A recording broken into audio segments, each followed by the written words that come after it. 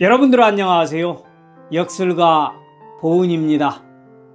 오늘은 특별한 4월의 운세에 관해서 이야기를 해볼까 합니다.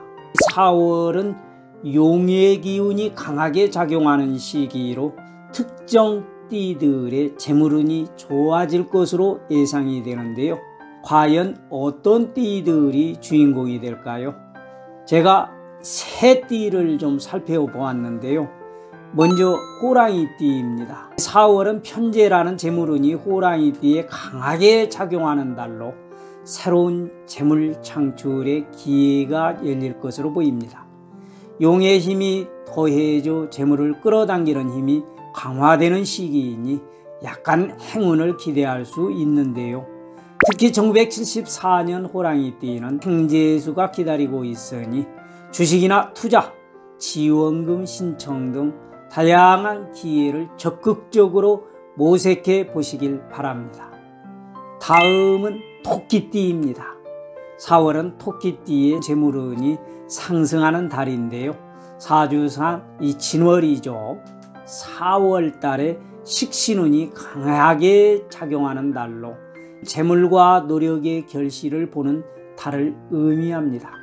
창의력과 협업으로 재물을 늘릴 수 있기에 딱 좋은 달이라고 볼 수 있겠습니다. 또 하나 이 말띠가 있는데요. 4월에 재물운이 상승하는 띠입니다. 식신의 영향으로 일이 많아지고 재물을 모으기에 적합한 시기인데요. 새로운 사업을 시작하거나 기존 사업을 확장하는 데 큰 도움이 되리라 봅니다.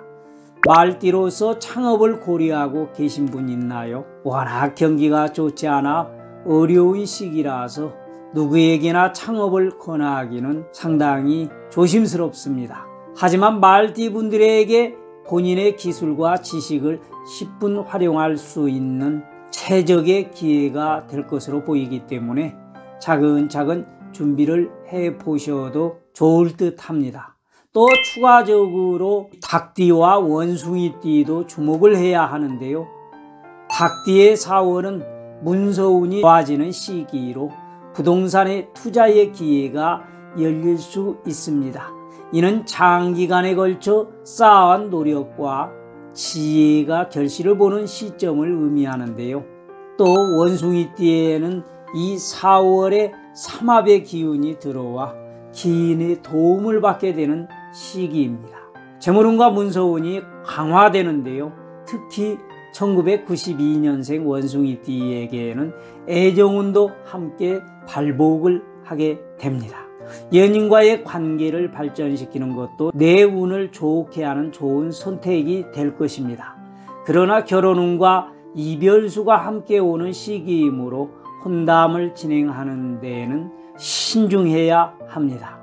건강운도 좋은 시기로 봄의 기운을 받아 좋아질 수 있지만 충분한 수면과 규칙적인 운동, 균형 잡힌 식습관은 정신 건강까지 높일 수 있는 시기입니다. 오늘은 재물운이 가장 좋은 띠 3개와 또 참고해 볼 만한 두 개를 함께 알아보았습니다.